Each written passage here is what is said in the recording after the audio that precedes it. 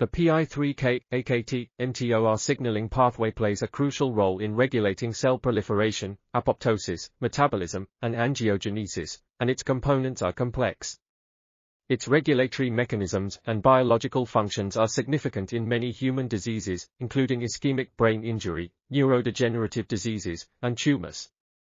PI3K, AKT, MTOR signaling pathway inhibitors include single-component and dual inhibitors, with numerous PI3K inhibitors exhibiting good results in preclinical studies and some being clinically tested in hematologic malignancies and solid tumors.